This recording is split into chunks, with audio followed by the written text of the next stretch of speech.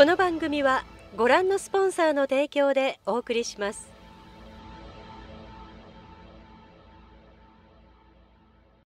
激辛スターチャンネル。司会の天野静雄です。麻生ゆうきです。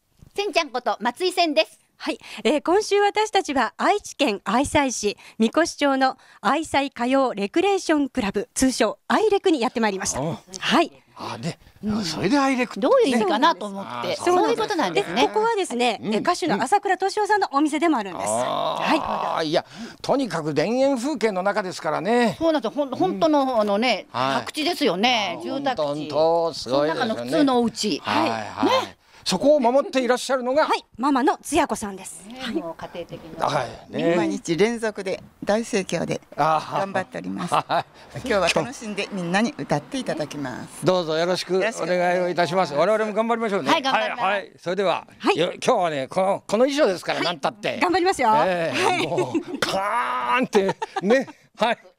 エネルギーをいただいてはい。始めてまいります。はい。お楽しみに。じいちゃんいつものとこ行こう一緒にゲーム。一緒にご飯。一緒に天然温泉。また来ような。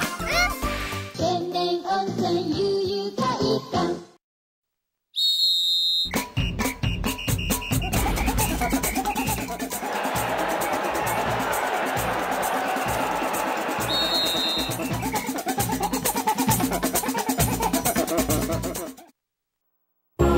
構造材の強度が一番重要です。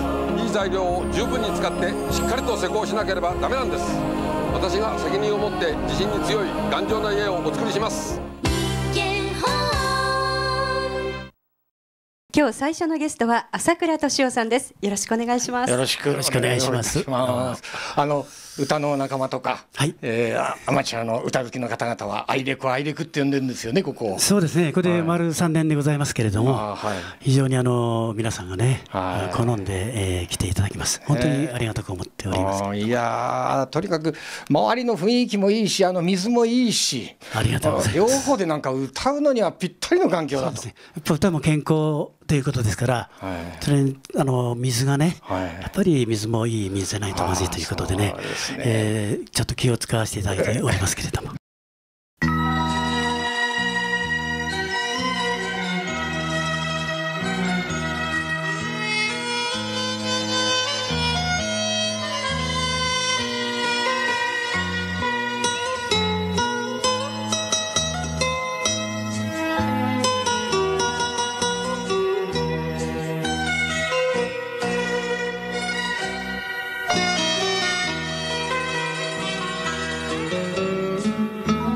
人の噂に流されて国を離れて早2年桜放ちる。日立の里に浮かぶお前の面影が揺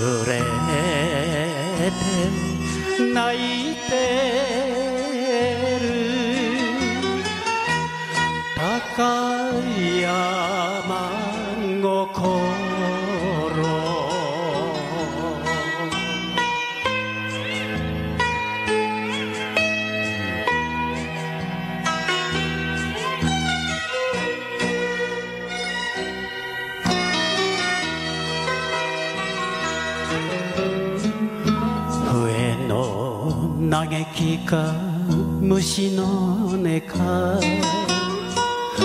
肩に冷たく秋風が祭り林に行き交う人の後ろ姿によすす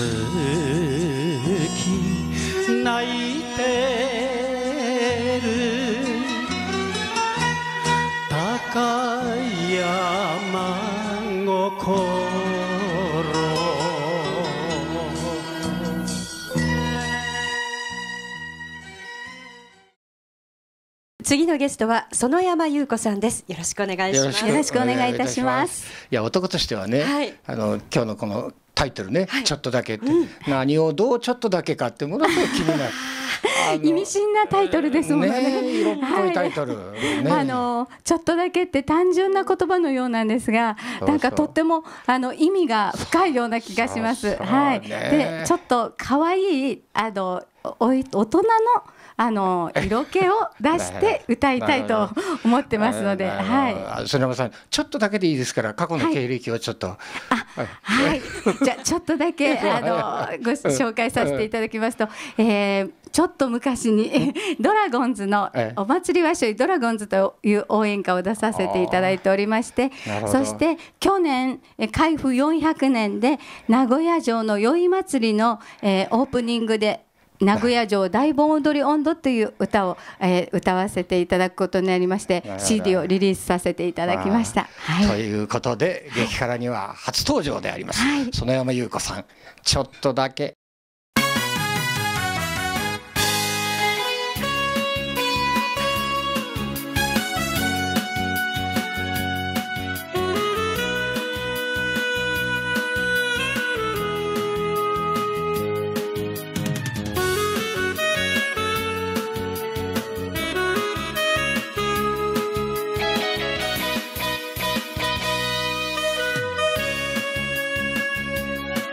ねえちょっとだけ。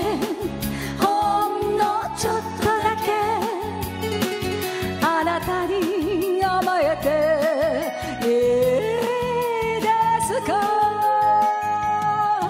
ねえちょっとだけ。ほんのちょっとだけ。あなたに甘えて。いいですか。夜のとばりに合う口紅。ワイングラスに注ぐ恋。あんまり優しく見つめちゃ嫌わよ。強がりの糸がほどけてしまう。名前はいらない。夜明け間近に本気になるのか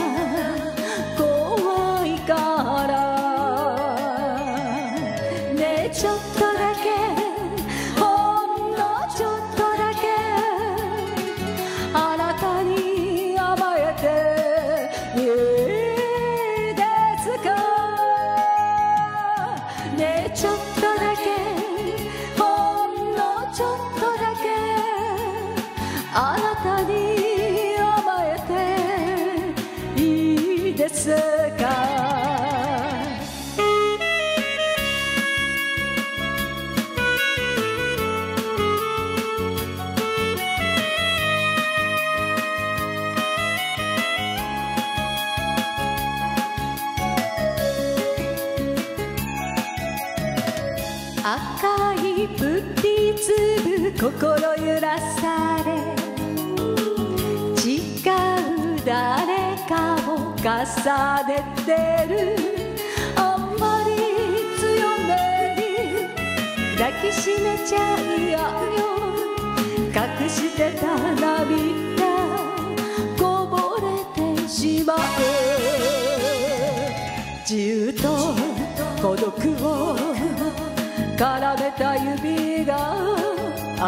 の背中でクロスする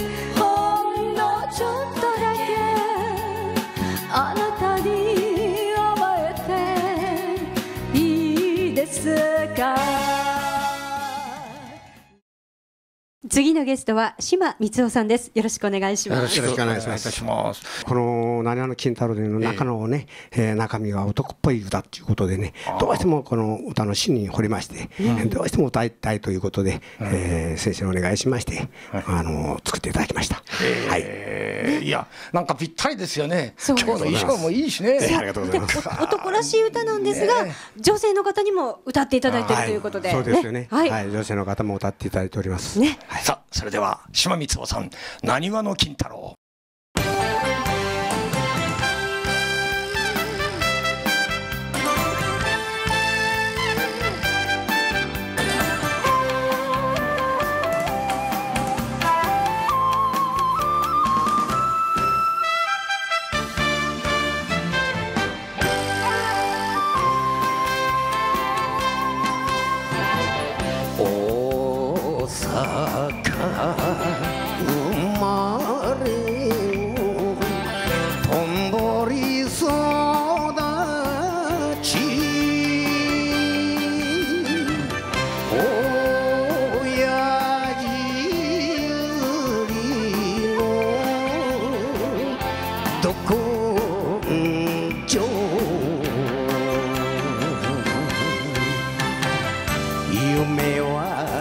界で通天閣の。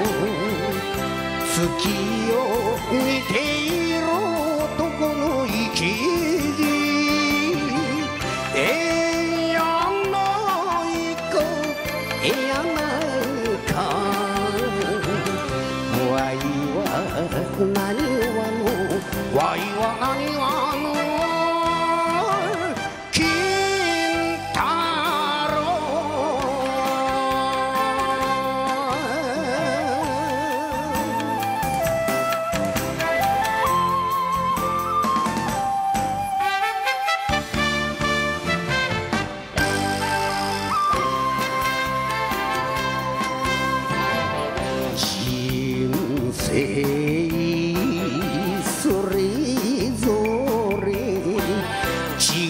ちゃいる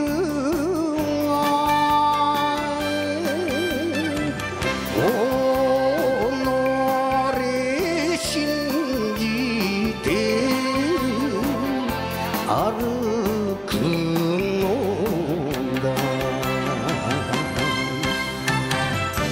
何はど根性貫き通し咲かすでっかい男の花